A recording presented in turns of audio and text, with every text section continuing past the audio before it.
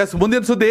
BJP ಶಾಸಕರ ವಿಧಾನಸಭಾ ಕ್ಷೇತ್ರಗಳಲ್ಲಿ ಕಾಮಗಾರಿಗಳಿಗೆ ಹಣ ಬಿಡುಗಡೆ ಮಾಡದೆ ಸೇಡಿನ ರಾಜಕಾರಣ ಮಾಡ್ತಿರುವ ರಾಜ್ಯ ಸರ್ಕಾರದ ವಿರುದ್ಧ ವಿಧಾನಸೌಧ ಮುಂಭಾಗ ಉಪವಾಸ ಸತ್ಯಾಗ್ರಹ ಮಾಡ್ತೀನಿ ಅಂತ ಮಾಜಿ ಮುಖ್ಯಮಂತ್ರಿ ಬಿ ಎಸ್ ಯಡಿಯೂರಪ್ಪ ಹೇಳಿದ್ದಾರೆ.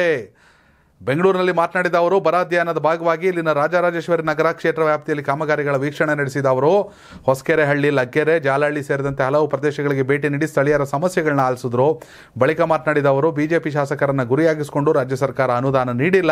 ಇದೊಂದು ಸೇಡಿನ ರಾಜಕಾರಣವಾಗಿದೆ. ಈ ತಿಂಗಳಿನಲ್ಲೇ ವಿಧಾನಸೌಧದ ಮುಂಭಾಗ ಅಥವಾ ಫ್ರೀಡಂ ಪಾರ್ಕಿನಲ್ಲಿ ಉಪವಾಸ ಸತ್ಯಾಗ್ರಹ ಮಾಡ್ತೀವಿ. ಈ ಈ ಸರ್ಕಾರದ ಆಡಳಿತ ವಿರೋಧಿ ನೀತಿಗಳನ್ನು ಜನರ ಮುಂದೆ ತೆಗೆದುಕೊಂಡು ಹೋಗ್ತೀವಿ ಅಂತ ತಿಳಿಸಿದ್ರು.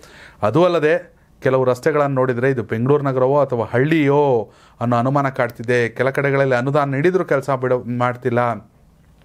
ರಾಜ್ಯ ಸರ್ಕಾರ ಇದನ್ನು ಗಂಭೀರವಾಗಿ ಪರಿಗಣಿಸಿ ವೈಯಕ್ತಿಕ ದ್ವೇಷ ಬಿಡಬೇಕು ಅಂತ ಅವರು ಹೇಳಿದರು.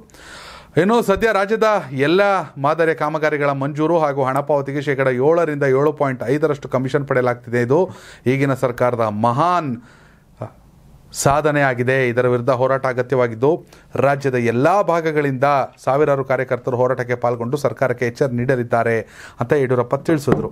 ಎಸ್ ಯಡಿಯೂರಪ್ಪ ಅವರು ಗುಡುಗಿದ್ರೆ ವಿಧಾನಸೌಧ ನಡುಗುತ್ತೆ ಅನ್ನೋ ದಿನಗಳಿತ್ತು. ಇದೀಗ ಯಡಿಯೂರಪ್ಪ ಅವರು ಪ್ರತಿಪಕ್ಷದಲ್ಲಿ ಕೂತ್ಕೊಂಡು ಗುಡುಗ್ತಾವ್ರೆ. ಪಿ ಶಾಸಕರುಗಳಿಗೆ ರಾಜ್ಯ ಸರ್ಕಾರ ಸರಿಯಾಗಿ ಅನುದಾನ ಕೊಡ್ತಾ ಇಲ್ಲ, ದ್ವೇಷದ ರಾಜಕೀಯ ಮಾಡ್ತಾ ಇದೆ. ಹೀಗಾಗಿ ಉಪವಾಸ ಸತ್ಯಾಗ್ರಹದ ಮಾತುಗಳನ್ನಾಡಿದ್ದಾರೆ. ಯಡಿಯೂರಪ್ಪ ಅವ್ರಿಗೆ ವಯಸ್ಸಾಯಿತು ಅಂತ ಯಾರು ಅನ್ಕೋಬೇಡಿ. ಅವರಲ್ಲಿರುವಂಥ ಇಚ್ಛಾಶಕ್ತಿ, ಹೋರಾಟದ ಮನೋಭಾವ, ಸಂಘಟನಾ ಚತುರತೆ, ಎಲ್ಲವೂ ಇನ್ನೂ ಕೂಡ ಹಾಗೆ ಇದೆ. ಅವರು ಮನ್ಸು ಮಾಡೋರು ಏನು ಬೇಕಾದ್ರೂ ಮಾಡ್ತಾರೆ. ಅಷ್ಟು ಸುಲಭವಾಗಿ ಯಡಿಯೂರಪ್ಪ ಅವ್ರನ್ನ ನಿರ್ಲಕ್ಷಿಸೋಕ್ಕೆ ಯಾರ ಕಡೆಯಲ್ಲೂ ಸಾಧ್ಯ ಇಲ್ಲ.